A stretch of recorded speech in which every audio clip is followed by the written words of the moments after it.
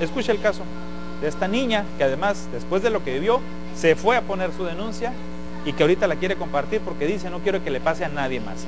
Niños ni de su edad, ni más chiquitos. Así lo dice, escucha. Una jovencita que fue víctima de tocamientos en un camión presentó una demanda ante la Procuraduría y quiso compartir en exclusiva con Canal 66 para promover la defensa de los derechos de menores en el marco de la campaña Que Vivan los Niños. Bien, bien, ahora soy mejor ya que ya denuncié, ¿sabes? Es como te liberas cuando lo denuncias. ¿Qué edad tienes? 15 años. ¿Qué fue lo que pasó en el transporte público, conforme me has contado? Fue un día, fue la mañana cuando iba directo a la escuela y pues al principio el camión iba lleno, como todos los días. Y había un señor en, al lado de mí, pero no había puesto atención. Eh, cuando la gente se bajó en un punto del camión, él se sentó a mi lado. Entonces ahí fue donde el señor empezó a hacer cosas extrañas como tocarme mis senos y mi pierna y se fue así. Entonces yo me espanté en ese momento. Así que yo me alejé un poco y lo miraba como, ¿qué estás haciendo? Entonces hubo un momento en que yo volteé hacia la ventana y no le había puesto atención. Cuando volteé, el señor tenía su mano dentro de su pantalón y se estaba masturbando. Entonces yo en ese momento me espanté, me enojé y me paré y le dije al conductor del camión. En el momento no hizo nada y pues me enfadé y dije, oye, ¿cómo está pasando esto? Y él no dice nada. Entonces ya cuando, una calle antes de llegar a mi escuela, el camionero dio una vuelta y ya estaba la policía esperando ahí. Entonces me, bajaron y me dijeron, oye, ¿qué está pasando? Digo, es que me acaban de acosar. Digo, no puedo creer que esté pasando esto. Y me subieron de nuevo, ¿sabes qué? Y las cosas que pasó. Le digo, para toda la gente que está en el camión, digo, esta persona acaba de tocarme, le digo, y empezó a masturbarse. Digo, eso no es normal. Digo, los niños de ahí atrás, lo vieron.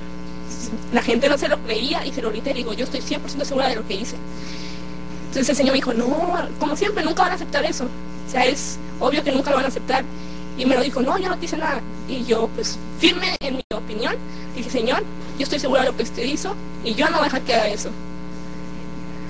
Sabe que hay cosas que a veces uno no puede hacer nada, pero sí se puede hacer. Lo piensa, pero sí se puede. Entonces yo dije a los muchachos de atrás que a veces es un problema que tenemos nosotros. La gente no habla por miedo, por miedo a que les hagan algo. Yo dije, no, ¿sabes qué? No, aquí no, eso no puede ser posible. Habían testigos y no quisieron hablar por miedo se bajaron del camión y me dejaron sola. La única persona que me ayudó en, este, en esta ocasión fue la persona que manejaba el camión y pues gracias a ello tuve la confianza para hacer mi denuncia. Eh, ¿Fue la persona que manejaba, fue el chofer quien habló a la patrulla? ¿Por eso fue que los interceptaron? Sí, así es. Él fue el que apoyó en todo, también dio su testimonio y me apoyó siempre, o sea, hasta el final. No, él me llevó también a la Procuraduría, de hecho.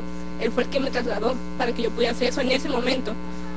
¿En el camión te llevó a la Procuraduría? Así es. ¿Qué fue lo que hiciste tú cuando ya llegaste a la Procuraduría? ¿Qué tuviste que hacer para formalizar esta denuncia? Ah, primero hice una denuncia en la, Procuraduría de, Robledo y fue muy poco, o sea, fue como, dame qué pasó y ya. Después me dijeron que tenía que ser una denuncia formal, o sea, mucho más cosas de las que ya estaban haciendo, ¿no? Entonces ahí me dijeron, ¿qué fue lo que pasó? ¿Vas a poner tu denuncia? Y me mandaron con un montón de personas, que yo creo que por eso las personas dicen, no lo voy a hacer porque es mucho trámite, o sea, es un problema también que yo creo que deben arreglar, mucho trámite. O sea, te mandan con una persona, te mandan con la otra, y tienes que estar diciéndole lo mismo a todas las personas, incluso porque es un momento difícil que estás pasando tú, yo quiero eso también es, afecta a la persona, ¿no?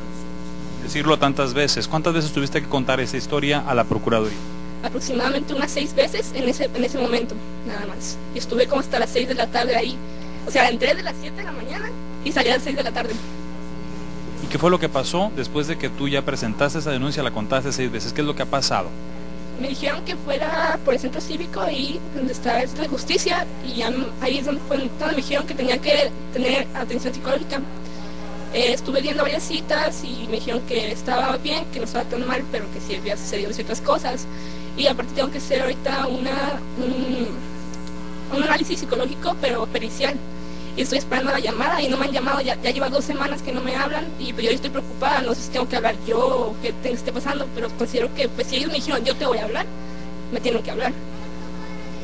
¿Qué les dirías tú a los jóvenes, a los menores que puedan estar pasando por algo, por algo parecido? Puede ser difícil, agobiante, o sea, sí, porque citar a tiempo, pero yo creo que sería bueno que hablaran, porque no nada, nada más existen ellos. O sea, hay niños más pequeños que pueden sufrir lo mismo y que yo considero que no deben nada más pensar en ellos mismos, sino en otras personas. Que incluso a personas de prepa, de secundaria, hasta de kinder puede pasarle lo mismo. O sea, puede ser alguien de tu familia, no necesariamente un extraño. Creo que eso deberían de pensarlo y, y hacer la denuncia. Bueno, ahorita que, que ya has hablado, ¿cómo te sientes respecto a los hechos y respecto a haber denunciado? Bien, porque sé que estoy haciendo un bien no nada más a mí, sino a la sociedad. ¿Sabes? Es como libertad de ya lo saqué, ya me siento mejor y aparte le estoy ayudando a otra persona que tenga la confianza para decirlo. Porque necesita confianza, confianza, eso es lo que necesitan. ¿Has escuchado de la campaña Que Vivan los Niños que hace Canal 66 que promueve la denuncia? Eh, ¿qué, ¿qué, opinas de esta situación? Sabes, siento que están haciendo algo bien porque o sea, nosotros nos atrevemos y fomentar a que la gente hable es bueno. Es algo que la gente va a ver y que va a actuar, que van a reflexionar acerca de lo que está pasando alrededor, porque no es algo normal. Es algo que tenemos que afrontar y hablarlo. Niños, no tengan miedo, hablen, porque recuerdan que vivan los niños. Al final de la entrevista, la jovencita, quien con su familia vivió en condición de calle por más de tres años, no quiso aceptar ningún tipo de apoyo económico ni para trasladarse, lo cual sigue haciendo en camión, pero con mucha más cautela. Muchas gracias, pero mejor comparta ese dinero con alguien de la calle. Yo sé lo que es tener hambre, fue lo último que mencionó la adolescente de 15 años. En contacto informan Luis Flores y Francisco Javier García Villanueva, Canal de las Noticias.